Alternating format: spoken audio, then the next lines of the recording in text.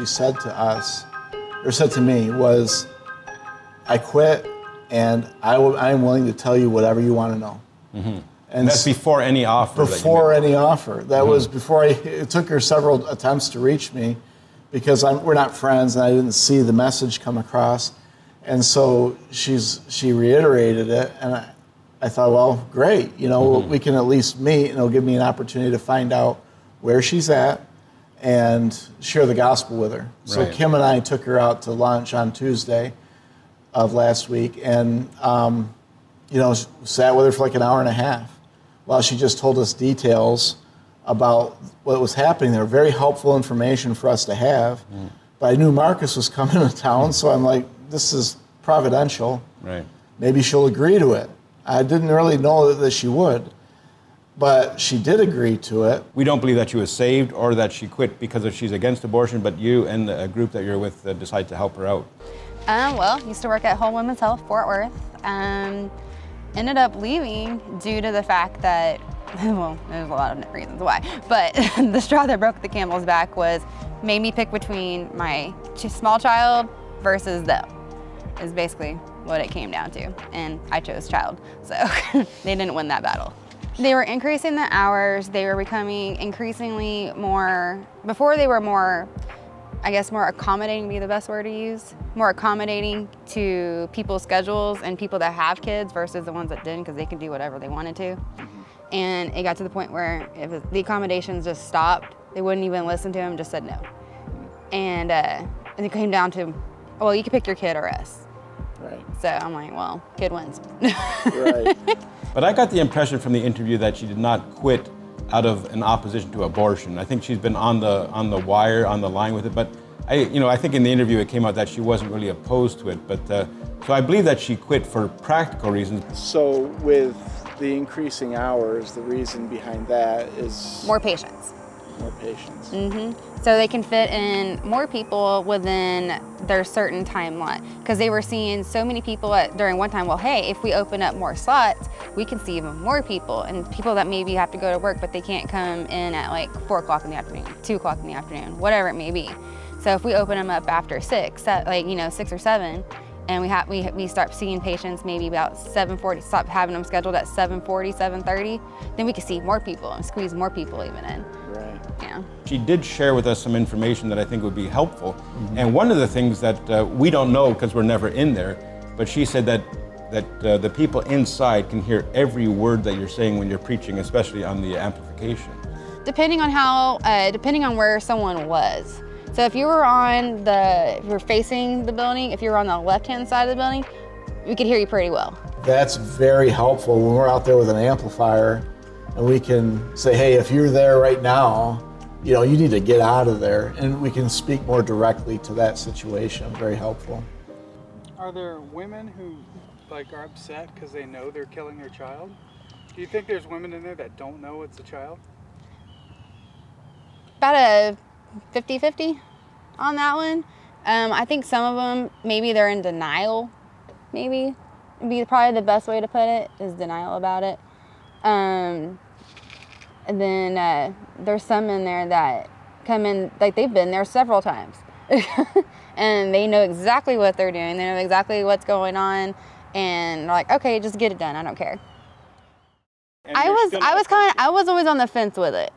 Uh, I think I reconciled it a little bit because I didn't actually go in the room rooms when they were doing anything. So I think that's kind of how I, you know, played it out in my head because I, I was like I was either working in the front office doing paperwork, like you know I'm just looking at a bunch of paper all day, or I'm just taking some vitals here and there, or doing this this and take maybe drawing some blood. Other than that, I wasn't having anything really to inadvertently with it. What I thought was interesting too is that they insulate the staff from that. There's only very few people who get to see the gruesome part of it, and uh, I think that's to insulate them for what they're actually doing. Although they know it, but I think it, you know it makes it even more real to them when they see that. What you're bringing to light here is that they're not treat, they're treating the patients badly. They're treating their own staff badly Yeah, they're just trying to get people in and out like as quickly because as money. possible. hmm It's all money. Yeah, because if they can get them in and out, especially then they also push the surgical. They push that one more. Yeah, because they make more money. Well, it's not even that they make more money, uh, especially when like they're like, say someone's seven weeks, right? They're not going to make more money off someone doing surgical versus the medication. They're not going to because they're the same price. Okay. They're the exact same price. So no matter which way you flipped it, they're the exact same. And uh, they they push the surgical because apparently there's like a quota he has to meet for the surgicals themselves. Not so much the uh, medication, but for the surgical. I'm not sure why. I never was told why. I just was told that we really need to push surgicals or whatever because of Well, that would be. That's where I would wonder about uh, the whole selling stuff. Where, what do they do with the, the, the remains? they take it to the path room. There's a dirty path and a, a clean path. So she takes the jar and dumps it into that little, like a little, it's not really like a colander. It's like one of those things you kind of like, almost like pull out of something from a deep fryer. the best way I can describe it. It's kind of like that uh, metal wiry mesh kind of deal. And then they rinse it out. And then I know that from there they end up dumping it onto a light table that you'd use for drawing. And then they'd put it on there to make sure. And sometimes the doctor would actually ask to verify. I'm not sure exactly. To exactly. verify they got everything. Yeah, he would have he would come in and like okay, and like I guess he would like a little once over, and then okay, and then from there, I know uh, they would put it in a biohazard bag. Of some kinds, I've seen the biohazard bag, um, and then put it in the freezer, and then it sits in the freezer till whoever it is that comes to pick it up. And one time that freezer actually went out. And that was horrible. we ended up having to buy a new freezer and have it sent in. Like she literally went to like Costco or something and bought like another small because it's not very big. It's about yay wide freezer and about as tall as the table. So it's not it's not a very large freezer they keep in there. When it goes out, obviously it stinks in there. Yeah. Like, yeah, whenever you would open that dirty path door, it was bad. It was really, really bad. Just the door to the room. Yeah, because the that room is sealed pretty well in the first place, so it was only you only got smelt it whenever someone had to open that door. I could just imagine that you know the, the feeling inside that these babies that they had murdered were going to start to stink, and that there was a bit of a panic for them to get another freezer. I thought that was uh, really telling of what goes on there. Very telling. It's the it's the reality that uh, of bloodshed and murder that's taking. It's the evidence. Based on what she was saying, it really kind of matches up with a David Daleiden videos. That keep, keeping those remains in the freezer. What other purpose would there be for the quotas? Right? It's just it's horrific, right? I mean, imagine you, you're trying to make sure you've got all the pieces of a dead baby. New at noon, an important appeals court ruling on the Texas law requiring doctors to perform abortions to show sonograms to patients. Now, federal Appe- appeals court in New Orleans says that Texas can enforce the law. With the sonograms, what are they showing the women? What do they show them? Um, it, they sh- they only show them if they ask. Okay. So if they ask, then they show. Like, and I had a couple of patients, you know, that I came in and they asked me, like, "Can I see it?" I'm like, "Yeah, just you know, that's fine. You can see it. Like, no one's like, I'm not gonna stop you from seeing it. If you want to see it, just tell them, like, hey, I really like, make, I like, I'll tell her in the hallway, like, make sure that she's aware that you already want to see it, and uh, like, I would do that at least. I know other people probably wouldn't have done it, but I would be like, okay, well, hey, this patient in room one wants to be able to see the sono. Just heads up and uh, and they're like, oh, okay. And then, but if they don't want, if no one tells them beforehand, or they don't tell them, they won't see it. They won't show it. Okay. Well, the fetal Doppler, since our sono machines don't do anything with that because they're old. yeah, they're, they're a little. Well, one's a little newer, one's a little older, but they don't have that capability of like sound. So they don't have the sound capability. And uh, I don't know if that was by coincidence or what. Um, but the fetal Doppler, so they have to have, since the sono machines don't do that, they have to have the fetal Dopplers in each room that they have procedures um, in order to, if say that they want to hear the heartbeat, they'll be able to hear a heartbeat. I've never, they're still in the box as far as la- last time I checked, because I have never seen anyone busted out of the box, like brand spanking new. like brand new, still in the box. Still, I think it still has like the paper stuff like wrapped around it. Well, what you're seeing there in that interview is what we said in Babies Are Still Murdered here that the, the industry, the abortion industry, can, they don't have to follow these pro life regulations. There's loopholes. Mm-hmm. And, and this is just proof of what we were talking about there that these pro life regulations uh, will not, they're unenforceable. completely unenforceable. They do what they want with, with those loopholes to fit what they're trying to do make money. And again, there's no one that's really standing over his shoulder, yeah. making sure the Texas state law regarding. Well, that's should, the, who's supposed to be doing it is the clinic manager, but she's I don't know, she's going doing whatever. So. okay, she, but she doesn't. So she's normally not doing that. Yeah, she's normally either running around like a chicken with her head cut off, right? Or she's not even there, or she's just hanging out in her office talking to one of the other managers, and yeah. So that's not happening from the office manager standpoint. Oh yeah. So yeah, okay. Even though these types of clinics are the enemy, I mean, we as Christians have to be fair to them. This was one woman. One we, woman. We didn't have a corroborating testimony from no. her, so we believe that she has no reason to lie. Right. And what she says might not have been accurate. I mean, I trust what right. she said, but we have to keep in mind that this is uncorroborated testimony, and yeah. we have to give them that benefit as Christians, even though they are the enemy. A few months ago, I remember women coming out of the clinic limping really dramatically. It looked like probably they had torn a torn uterus, but from just you know having been out in front of clinics for right. a long time, just observing and knowing what happens.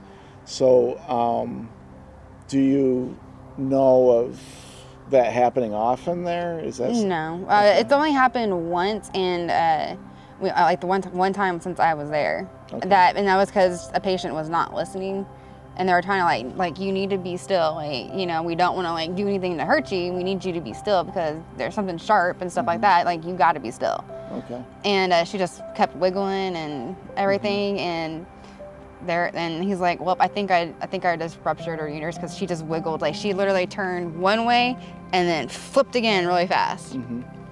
and he's like and so he's like well okay i think that, that just happened because okay. she won't be still so and then but the funny thing about that is they only have to uh, i guess uh, file a report of some kind if uh, he knows for a fact he did it but if he suspects he did it they don't have to file a report. So they, on that one, they suspected. He said, "I suspect I did because the way she was moving." He's like, I, and the way she started bleeding, I suspect that I might have. So, and then you know, call ambulance and all that, get her out of there, go get her looked at. file a report. Yeah, as long as he suspects. If he does, unless he knows, knows, then they have to file a report. But if he says he suspects it, then they don't have to. So there's a loophole built in for mm-hmm. them, so they can dodge it. Pretty much. Okay. Another loophole. okay. One thing that struck me with interviewing Amanda as well is that if it's not a gospel proclamation, I mean, we're thrilled that she quit her job. Mm-hmm. But if she doesn't repent and put her trust in Jesus Christ, she is no closer to heaven for quitting her job. So our, our goal is not to get women to quit their jobs. Right. It's not to get women to stop killing their babies. Ultimately, we, we want that, but we want it because we want them to be saved. Because if they don't kill their baby for pragmatic or practical reasons, or they quit for practical reasons, they're still going to hell. Right. So that's why I, you know, you as well believe that we go to the clinics to share the gospel with them because it's a target-rich environment of unbelievers. Right. Because I, I don't believe a true believer would go there and, and kill their child. Yeah. All we will do from here on out is just continue to minister to her needs and continue to, um, you know, present the gospel to her. My experience before I came to Christ, I was a pastor for about 12 years. And when I realized I wasn't even saved, but I was pastoring, I was preaching every Sunday, right. doing all that. And then God revealed through His Word that, you know, I was a hypocrite because I was doing one thing, saying one thing, you know, and doing completely different. And so, you know, my concern about anyone that's there, and that would obviously, I'm including you, I'm be direct, uh, you know, would be that do you really know Christ? you know, knowing him changes us to a degree that, man, we wouldn't even want to be a part of it. And I understand, like, coming out of college, you're looking for work, and it's the job that opened up. Yeah, it was literally boom, boom. Like it was like I got done with medical assisting school. What like uh, in February? I was there in March. Right. It was just boom, boom. Like quick. yeah. But yeah, I mean, the thing I encourage everybody in the Bible Belt is two questions. Number one, what is the gospel? Um, what's the content of the message? Well, obviously, Christ died for sinners, He rose from the dead. Our sins can be forgiven if we repent and place our faith in Him. But then the second question I think is more important is what difference does that message make in our lives? And if there's no difference between us and like what is going on in the life of an unbeliever, doesn't even maybe an atheist or whatever, then we have reason to be concerned, you know. And so I say that to you out of concern for you, you know, that you know Christ and that ultimately one day that you you're in his presence, you know, apart from you know all the garbage that we face in this life. Um, and so our desire is, you know, hopefully one day God will, you know, if we're, I don't know your heart, only God knows people's hearts, but, uh, you know, if you're not, if you haven't trusted Christ, that's our desire is to see that happen. We can't make that happen. Right. You know, we don't do that whole walk the aisle, pray the prayer thing. You know, we believe if God's going to do something, He'll do it. So that's how we leave that. But yeah, and you know that we're, I've expressed this to you before, but we're available for whatever you need. You know, as you're looking for a job, we'll help you do that. Um, you know, try to help out where we can.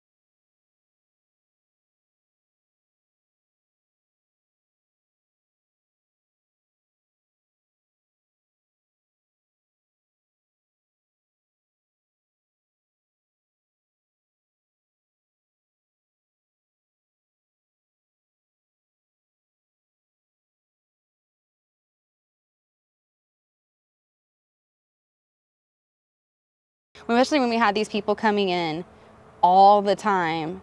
Like literally, they were here in February, and next thing you know, like that name looks familiar. Why does that name look familiar? And then all of a sudden, you see it like, wait, oh, that's why it looks familiar. She was here in February, and now she's back in April. And then okay, she was here, like, and then all of a sudden you see the same name again. Like, what is this? And, and then like it's June, and she's back again. It's like, do you not understand what's happening here?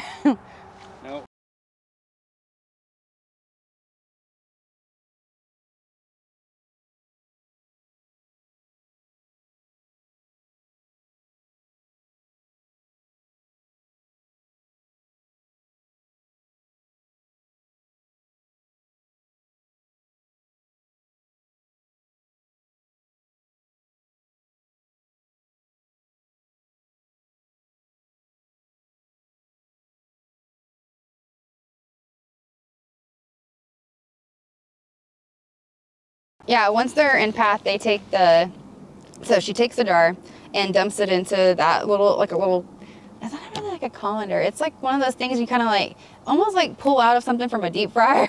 Mm-hmm. and the best way I can describe it is kind of like that uh, metal wiry mesh mm-hmm. kind of deal. And then they rinse it out. And then I know that from there they end up dumping it onto a light table that you'd use for drawing.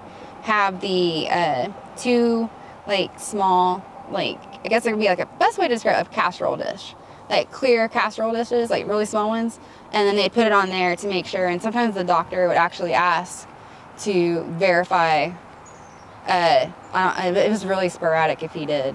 It was like here, there, just I guess uh, sometimes if he wasn't sure, I'm not sure exactly. To verify they got everything? Yeah, he'd have he would come in and like okay, and like I guess give it like a little once over, and then okay, and then it, from there, I know uh, they would put it in a biohazard bag of some kind. I've seen the biohazard bag, um, and then put it in the freezer, and then it sits in the freezer till whoever it is that comes to pick it up.